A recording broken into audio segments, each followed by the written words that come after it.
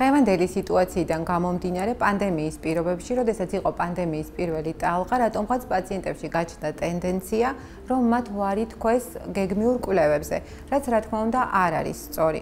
ქრონიკულად მოავადე ადამიანებმა აუცილებლად უნდა ჩაიტარონ დროულად ის გამოკვლევები, რაც მათ წინა ვიზიტისას დაუნიშნა ოჯახის ექიმმა ან ექიმმა სპეციალისტმა. ეს გვეხმარება ჩვენ ექიმებს დროულად შევამოწმოთ პაციენტების ჯანმრთელობის მდგომარეობა, შევამოწმოთ მათი სასიცოცხლო პარამეტრები. თუ საჭირო იქნება, მოხდეს დანიშნული მკურნალობის კორექცია, დაიგეგმოს მომდევნო ვიზიტი და მომდევნო გამოკვლევები.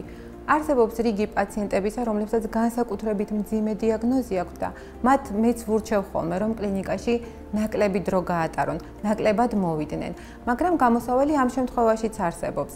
არსებობს სატელეფონო კონსულტაცია ოჯახის ექიმისა, როდესაც ოჯახის ექიმს შეუძლია დისტანციურად გასცეს მიმართვა და შესაბამისად პაციენტებიც ნაკლებ დროს დააყოვნებენ კლინიკაში. კლინიკაში მოსვლისას ქრონიკულად მოავადე ადამიანებმა ისევე როგორც ყველა ადამიანმა დღევანდელ პირობებში უნდა დაიცვას, კაცრად უნდა დაიცვას ყველა რეკომენდაცია და რეგულაცია, რომლებიც მოწოდებულია ჯანმოსა და დაავადებათა კონტროლის ცენტრის მიერ.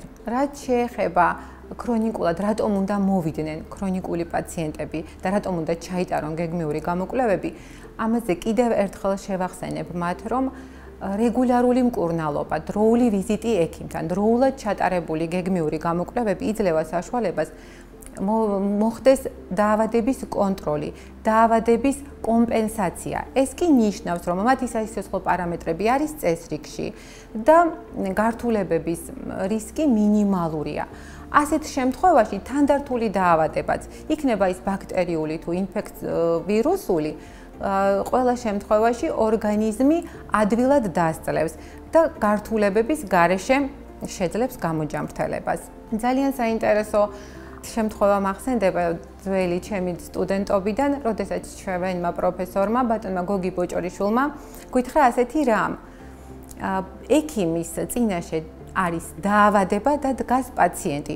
თუ კი პაციენტი დადგება დაავადების მხარეს, ექიმი ამ ბრძოლაში მარტოა, მაგრამ თუ კი პაციენტი დადგება ექიმის მხარეს, ამ შემთხვევაში დაავადება არის მარტო და ჩვენ ერთად, ექიმი და პაციენტი, აუცილებლად დავამარცხებთ დაავადებას. მინდა გისურვოთ, დაგვემარცხებინოს ყველა დაავადება, იყავით ჯანმრთელები და წარმატებულები.